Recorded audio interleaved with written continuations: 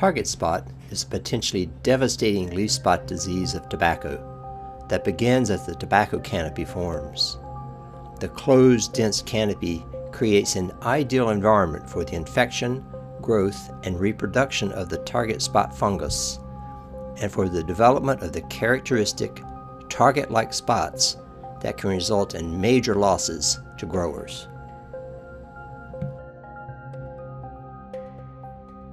Target spot typically starts during warm, rainy periods in June. The fungus produces spores on the soil surface that blow up onto leaves and cause small circular spots called primary lesions.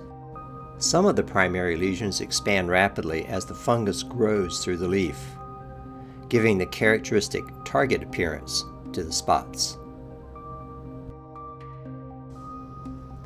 Not all primary lesions expand into large target spots, but even when they do, the characteristic small primary lesion remains visible. On a fully expanded leaf, numerous infections may occur.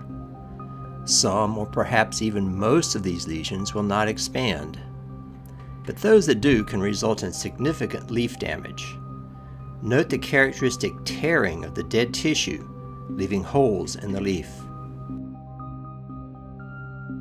On leaves low in nitrogen, target spot lesions can get very large and have a distinct halo. The dead tissue that falls to the ground can provide the pathogen a place to survive until the next tobacco crop. As the epidemic progresses and warm, rainy conditions continue, disease becomes severe. The pathogen reproduces on the underside of leaves and spores are dispersed to start the next generation of disease. The epidemic that began with spores blowing from the soil onto the lower leaves is now moving up the plant.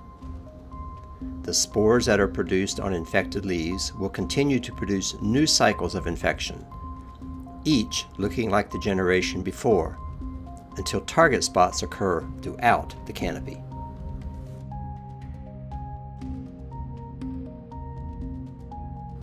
Target spot epidemics can result in devastating losses in the absence of controls, so management practices must be employed to minimize losses.